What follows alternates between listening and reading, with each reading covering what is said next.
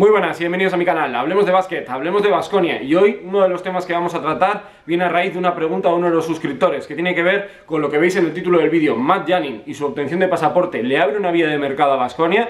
Bueno, quiero analizarlo en el día de hoy y también escucharos a vosotros porque es también muy importante conocer vuestra, vuestra opinión. Pero antes de nada, de verdad, daros las gracias porque estoy eh, alucinando con la acogida que tuvieron tanto el análisis de Actin Penaba como el análisis de la temporada de la plantilla de Basconia. Así que de verdad muchísimas gracias, ambos se han convertido en los dos vídeos más vistos del canal, récord de reproducciones en el canal con más de 3.000 visualizaciones, más de 1.000 suscriptores ya en menos de dos meses subiendo vídeos, de verdad muchas gracias a todos aquellos que sois nuevos en el canal, bienvenidos. Y a los que ya lleváis mucho tiempo, gracias por la confianza, así que eh, si todavía no lo habéis hecho, por aquí abajo le dais un botoncito, suscribís con la campanita y así recibís todas las notificaciones y os enteráis de toda la actualidad de básquet, tanto de Euroliga, CB, NBA, indudablemente también hablamos mucho de Basconia aquí, eh, pero también otros equipos que van a ir llegando poquito a poco al, al canal. Así que eh, vamos con el vídeo de hoy que tiene que ver con un análisis de un caso, como os decía, que me lo preguntaban a través de las redes sociales, ¿no? El pasaporte de Yanin, que lo tenéis por aquí.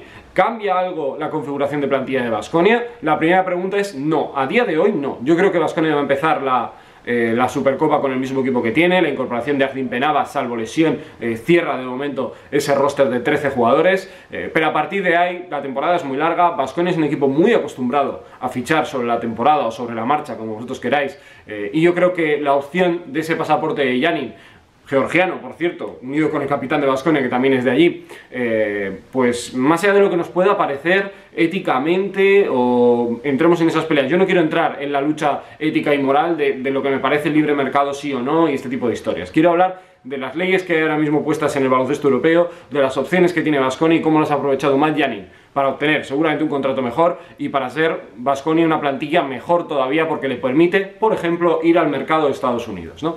En el vídeo de hoy que hablaba sobre el análisis de jugadores españoles en la NBA decía que quedan dos semanas para que arranque el training camp eh, y de verdad eh, creo que esa vía va a ser algo que va a explotar Vasconia. Hay jugadores muy interesantes que van a quedarse descolgados. Eh, el Madrid lo hizo el año pasado con Tavares, vale que era cupo, pero me refiero al perfil de jugador, alguien muy interesante para Europa que se te queda colgado y se te queda en el aire. ¿no? Yo creo que eso es algo muy interesante que Vasconia siempre mire y debe tener en cuenta. ¿Para qué? Pues por ejemplo, para reforzar la posición de escolta alero si ve que alguno de sus jugadores no encaja. Imaginemos que Pato Garino o, o Taz Kerkis o alguno de los jugadores exteriores no acaba de convencer o cree Vasconia que necesita algo más de potencial, porque el inicio de calendario en Euroliga, cuando llegue el momento hablaremos, pero es tremendo para Vasconia, eh, pues tiene que aprovechar y tratar de buscar esa vía en, en el mercado, porque jugadores escoltas, bases o combos, como vosotros queráis, son opciones más o menos interesantes, a un precio más o menos asequible y se pueden conseguir verdaderos chollos o buenos jugadores eh, una vez sean cortados de la NBA. Eh, y otra opción que le permite a Vasconia es que a lo largo de la temporada, para eventos como la Copa del Rey, para cuando se vaya llegando o ese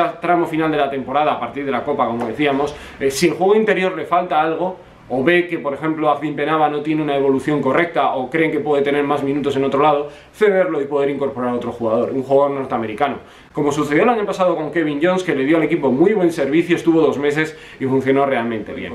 Pero aquí lo importante también es conocer lo que vosotros pensáis. Dejadme en los comentarios si creéis que Vasconia va a fichar ya o va a esperar un poco más. ¿Qué perfil de jugador ficharíais eh, viendo un poco las necesidades de plantilla que puede tener ahora mismo Vasconia y qué es lo que creéis eh, que podría llegar o de qué mercado, porque también podría explotar con algún jugador eh, comunitario que se, quede, eh, que se quede libre y fichar a un jugador de, esas características. Así que por favor, dejármelo en los comentarios y yo volveré mañana con el habitual preguntas y, respuestas para los suscriptores y algunas ideas más que tengo en mente para, para el canal. Así que que paséis un buen día. Hasta el próximo vídeo. Adiós.